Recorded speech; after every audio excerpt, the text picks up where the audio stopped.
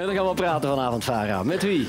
Wij praten vanavond met Hadise, net terug van haar triomftocht door Turkije naar Eurosong. Met Selahattin Koca, SPA-schepen in Beringen.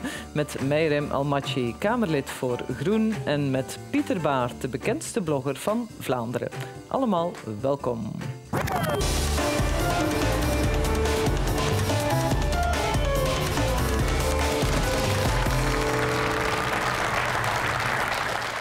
Vandaag lazen we uh, op uw blog een stuk over de zus van uh, Didier Reinders, die uh, magistraat is, maar die haar steun had geuit aan bepaalde blogs of, of Facebookgroepen van ja. Didier Reinders. U schrijft op uw blog, ze heeft het aan haar rekker. Wat heeft ze verkeerd gedaan? Ja, ze is dom geweest. Hè. Ze is heel lomp geweest. Ja?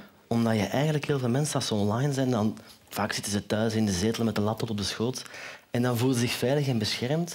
Maar wat je niet doorgaat, is dat er eigenlijk een paar duizend mensen en via die mensen nog eens een paar tienduizend mensen aan het meeluisteren zijn. En je vergeet dat wel eens. Ja. En als je dan als publiek figuur, zeker als politiek neutraal figuur, gaat zeggen ik steun die bepaalde partij of die bepaalde persoon, ja, dan loop je tegen de land. Dat mag ze eigenlijk niet. Hè? Dat is het probleem. Als procureur moet zij onpartijdig blijven. Dat mag ze niet doen, inderdaad. En vooral als je dat op Facebook gaat doen, waar je denkt dat je, enkel, dat je profiel enkel kan geraadpleegd worden door jouw vrienden, de mensen die je toestaat. Maar geef toe, als iemand zegt, mag ik jouw vriend worden? Je bent vaak zo geflatteerd dat als je denkt die persoon te kennen, of je durft ook niet te vragen van, ja, maar wie ben je eigenlijk? Want dan zou die persoon eens verontwaardigd kunnen zijn van, hey. Dus je accepteert die en plotseling is iedereen aan het meeluisteren. U bent uh, eh, SPA-schepen in uh, Beringen, Meirem Almatje. U bent Kamerlid uh, voor Groen. Jullie zijn allebei kandidaat op de Europese lijst. Wat ons opvalt is dat het thema allochtonen eigenlijk niet leeft in uh, deze campagne. Is dat een goede of een slechte zaak? Er leeft nauwelijks enig thema in deze campagne. Ja. Laat staan het thema diversiteit. Uh, een thema dat mij heel nauw aan het hart ligt. Maar het is gewoon een vaststelling dat de voorbije weken vooral gegaan zijn over schandalen en intern wie overplakt wie en uh, waar rommelt het het meest.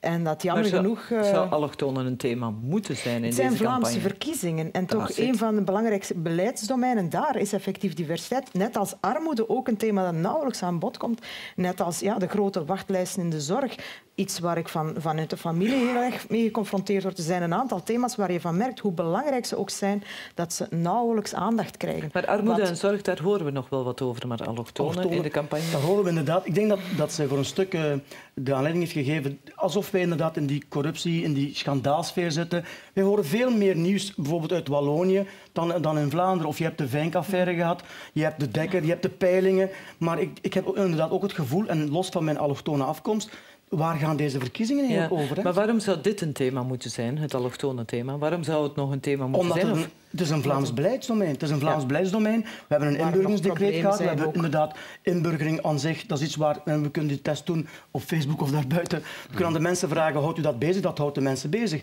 Ik hoor de winter toch nog wel altijd zeggen dat de sociale zekerheid in de pocket van Mohammed zit. Kom aan. Allee, dit is ja, die probeert het wel op de agenda te Die probeert het inderdaad, maar op een slechte op manier. manier. Maar misschien een HDC's vragen. Ben je ermee bezig met, met politiek? en daarmee bepaald de allochtone vertegenwoordiging in de ik, politiek? Ik, ik volg het wel, ja. Ik volg het wel. Uh, maar inderdaad, ik zou ook meer, graag meer allochtonen willen zien in de politiek, om heel eerlijk te zijn. Bijvoorbeeld, ik ben geland in België en uh, mijn zus woont in Heusden-Zolder.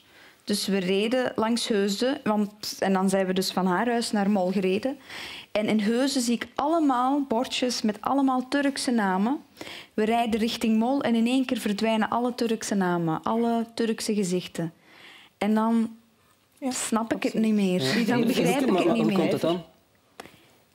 I don't know. Hoe komt het? Iedereen vist het. Dat is, dat is een stuk van wat ik zie als probleem nog, nog maar dat is, dat is heel persoonlijk, een allerpersoonlijkste ding, is dat heel veel allochtone kandidaten uh, daar zijn om allochtone stemmen te ronselen. Terwijl het ook voor hen zeer belangrijk is om zich ook gewoon als politieke naar de gemeenschap toe, naar de volledige gemeenschap. Dat is een keuze die iedereen individueel maakt. Maar dat heeft ook als gevolg dat die gezichten vooral hangen in wijken waar veel allochtonen hangen. En dat als je er buiten komt, inderdaad die gezichten wegvallen. En dat de kleur in het geheel van die lijst soms wat mager uitvalt. Ja, maar we gingen nog op het Songfestival worden, want HDC is daar toch vierde geworden. Dat is uh, schitterend. Maar ik zou durven zeggen, want je bent heel erg ambitieus, dat je niet stiekem van toch meer ge, uh, gehoopt? Ik ga heel eerlijk toegeven, in het begin heb ik mij nooit gefocust op de eerste plaats. En dat meen ik echt. Ik heb mij nooit gefocust op de concurrenten, op de buurlanden of de andere landen. Maar als je daar in de green room zit hm. en je ziet dat je plots op twee staat, dan wil je toch wel winnen.